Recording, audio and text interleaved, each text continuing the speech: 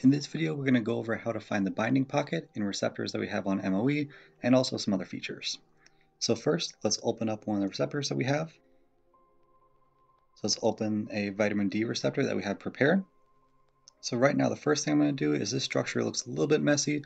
So to clean it up a little bit, I'm going to hide some of these hydrogens that it's showing. So I'm going to go to Render, Hide, Hydrogens. And you can see that cleans it up a little bit. So the vitamin D receptor here that I have downloaded is a pretty small receptor and it'd probably be pretty easy to find the binding pocket in this in terms of the crystallized ligand that's in here.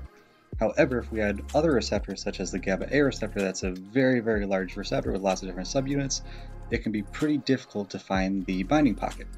The easiest way to find the binding pocket though is if we go to Render, Site View, it immediately puts us right where the binding pocket is.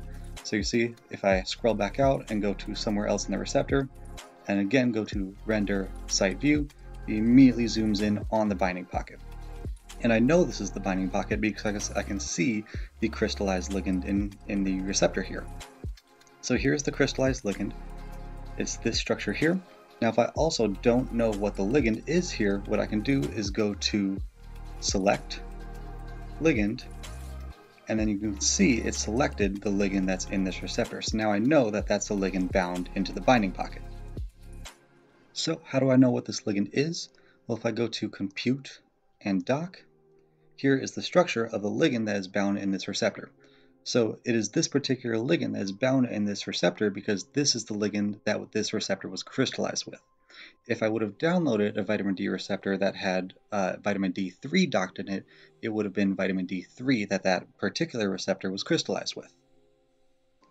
Some of the other things I can see here is I can see the hydrogen bond interactions that are happening with this ligand and the receptor. For instance, there's a hydrogen bond interaction there, and there's also another hydrogen bond interaction happening right here.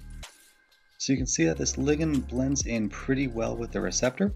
So let's say I want to change the color of the ligand. To do that, I would need to first select the ligand. I can either do that by going to Select Ligand, or another way to do this is if I just click anywhere on the ligand, I can then go to Select, Extend, Molecule, and then it will extend what I selected to that entire molecule. I can then go to Render, Atoms, and then choose whatever color. So I set it to green, it changes the ligand to a green color, which makes it of course stand out a lot better and I can see it.